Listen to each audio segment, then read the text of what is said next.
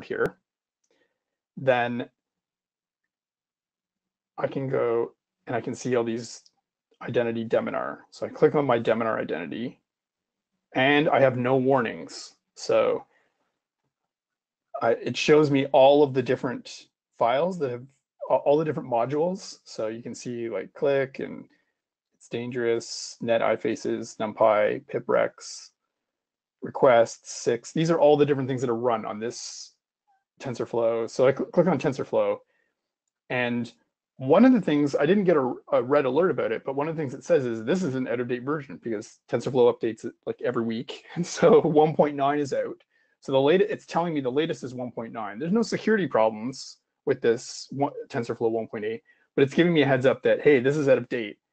Notice it also gives me information about the license. It says this is an Apache license 2.0. So if your organization, you uh, were perhaps interest, interested in you know you don't want any GPL uh, code, then you could uh, you know be able to monitor and see the licenses. And like I said, with the uh, policies module that's evolving, you eventually be able to filter that stuff out. So you can see also that here's another report that shows me here are all the identities using this component. So if there wasn't a warning with this, then I'd be able to see how widespread is this warning inside my organization. And in this case, there's only the one that's using TensorFlow. So if I go back here to different identities, you can see that if we had an error, however, right?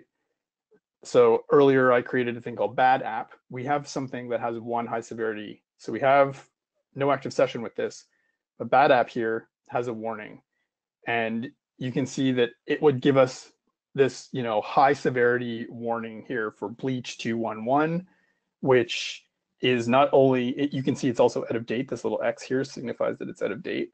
But there's also a cve against that and it has a little explanation about that cve it's an issue to discover before 2.13 right? So it's obviously recommending that i update to 2.13 here. So we've got out of date errors but i've also got a high severity cve so you can imagine uh, that if I had a very large application or a large organization, this gives me a dashboard, a one-stop shop to see, hey, where are all of the errors that we have? You know, I can click on warnings here and component warnings across any of, uh, of the things in my organization will show up here that I have. Here's my high severity bleach one and it's running on bad app. And moving forward, as I continue to develop, I don't have to do anything. I've already configured it, set it up, it's just going to keep working and keep keep checking things for me. And then whoever's monitoring the dashboard here is going to be able to see these errors and see these components and see these uh, alerts and then be able to take action based on that.